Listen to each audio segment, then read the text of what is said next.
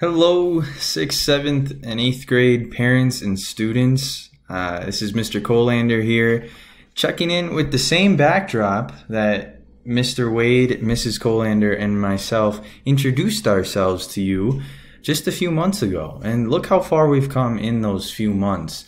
Uh, we've made it an entire quarter of the way through the school year and even though it was online, uh, a lot of you did really well, and we appreciate your hard work. Um, and this video is for those of you who did really well, and for those of you who struggled. Uh, these these are some tips and guidelines we want to give you uh, as students, as parents, on how to keep up with the with the workload, as we're going to be online for at least another quarter.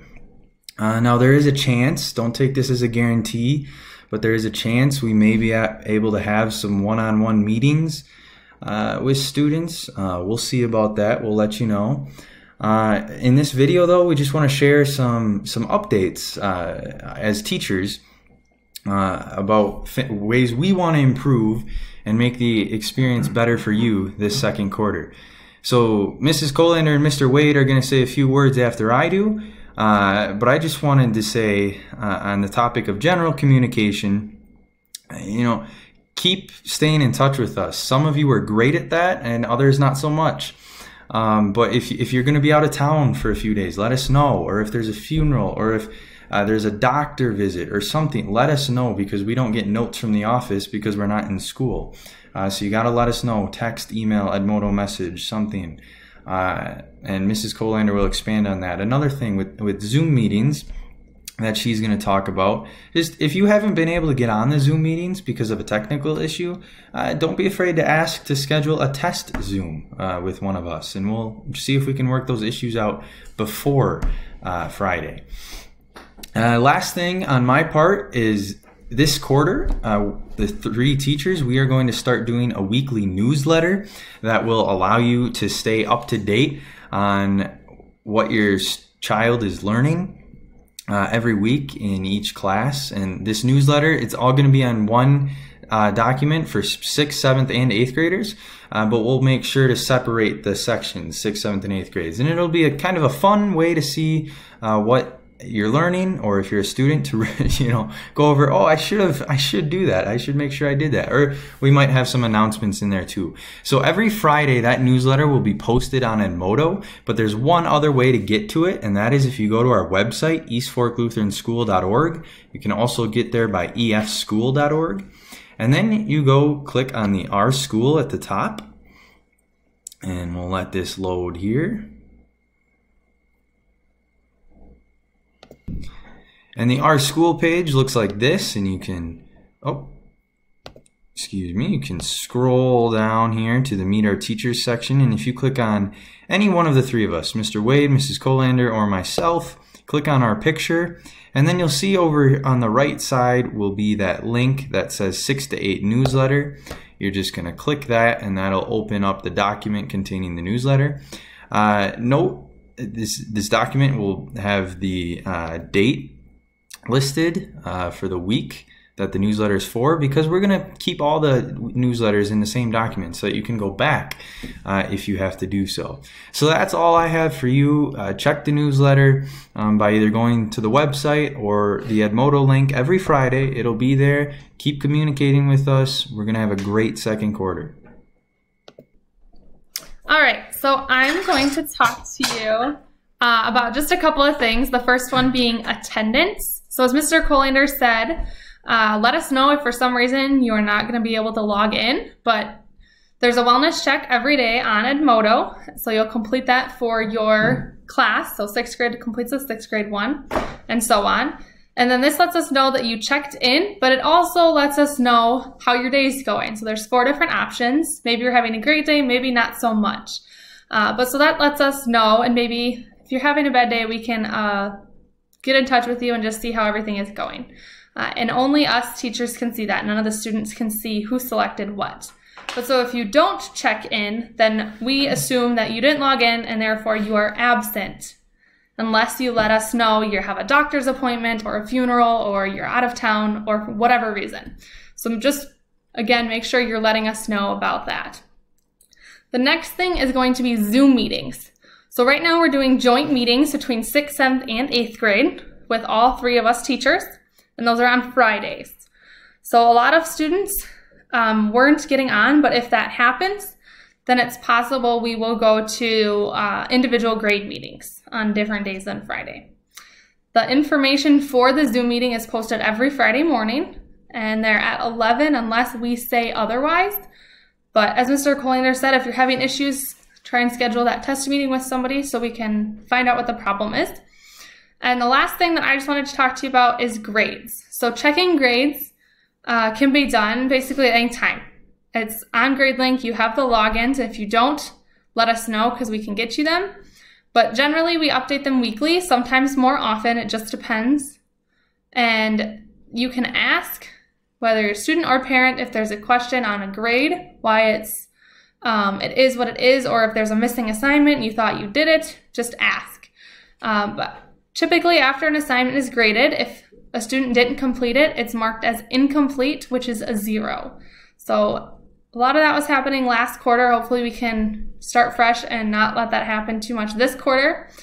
But if you don't complete one, get it done as soon as possible. And then also, regular messages will be sent out from the teachers or some type of message stating what your missing work is or who is missing work. And then finally, if your student is struggling or if you as the student are struggling, don't be afraid to ask for help.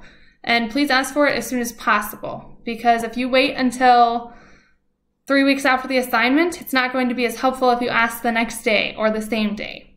Uh, all three of us are available between 8 and 3 every weekday for help and questions if you have them, and maybe you're just not getting something, but it's okay to ask for help. Of course. Okay. All right.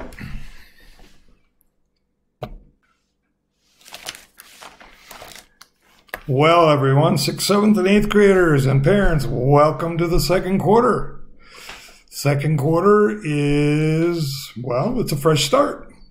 It's a clean slate of grades. it's a new beginning. That's what the second quarter offers you. Maybe you were happy with your, your first quarter grades, or maybe you were disappointed. Um, maybe you enjoy online learning and, and maybe you don't. Um, maybe you're happy to have only three hours of study each day um, with the online version. Or maybe you'd rather be at school sitting in a desk for six or seven hours each day uh, to be with your friends. But the reality is, we have another quarter of online learning. COVID hasn't gone away, and the second quarter will be just like the first. So, listen up. Um, maybe let's just start with this. Um, you have three teachers who are excited to be at East Fork Lutheran School teaching you. I mean, um, Mrs. Colander is way cool. And Mr. Colander is awesome with a capital A. And um, me, well, maybe I have a few cobwebs on my brain, but I know what you need to know in order to be successful um, in the future. And we're working really hard to have interesting educational online lessons for you every day. And we're asking you to do the same. To work really hard every day. To put in the time where it's three hours. Um, you know, get logged in and here's some of the keys now to put aside all the distractions. Maybe is it your phone with your friends? Uh, distraction might be video games. Maybe it's uh, pets, which I love pets too, but maybe not during study time, learning time. Uh, maybe it's a younger brother or sister or siblings or whatever. Um, but we want you to put those distractions aside and give it your very best effort every day. And the results can be amazing. Um, when you get frustrated, boys and girls, um, if you get stuck, like the other two teachers said, we're always here to help. And um, one of the keys that that we, we find rather amusing that that we, we have to stress to you yet before I'm done is please watch the videos before you try to do the assignments. Most of the videos are not very long and they're extremely helpful. They make a huge difference in your grade. And we always know whether you really watched the video or not because we usually put one baby question on there that if you watch the video, you obviously would get right. so, um, at any rate, um, I know it's it's a it's a temptation to take shortcuts, guys, but um, if you if you really want to give it your best effort, it's important that you do watch the videos. And there's a great variety of, of things that we come up with, and um, and and they, they actually um, are most of the time quite interesting as well. Parents, um, as for you, um, we look forward to contacting you very soon then via phone to discuss um, your child's progress and to come up with whatever game plan we need to to help your child be successful in this quarter. And, and parents, my other reminder to you is to remember, and this is powerful stuff, remember to pray for your child every day. Pray for your kids to be successful in their schooling during this difficult time. And as we've seen in the past, God blesses those prayers. So, um, you have our you have our phone numbers. You have a way of messaging us on Edmodo. You have um, uh, the ability to text us every day, and we invite that. If, if, we've made some great progress with families because they contacted us, and we ironed a few things out, and that so communication is is critically important. All right, I guess we're done for now, and um, we look forward to seeing those kids um, online um, in our Zoom meetings, and we look forward to seeing the results of their of their really good work um, each and every day. Thanks.